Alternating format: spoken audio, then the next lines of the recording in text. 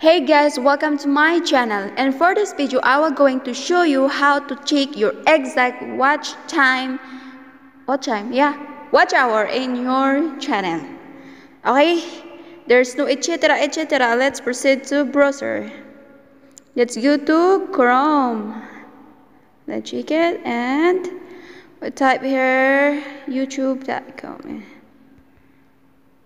oh my goodness Wait a minute. Ayun, YouTube, youtube.com. Yan.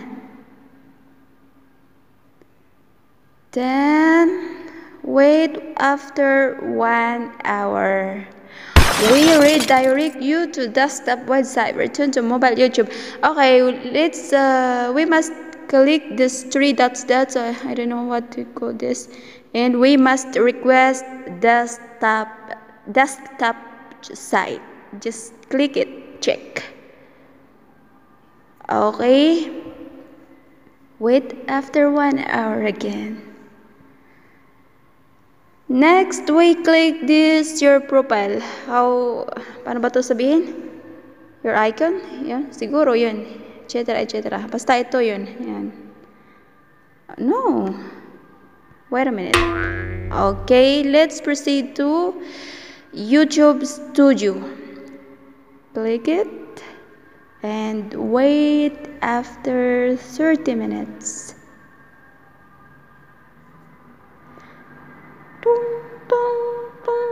okay this is it have you seen here at the left side there's um ano ba? English ako na English.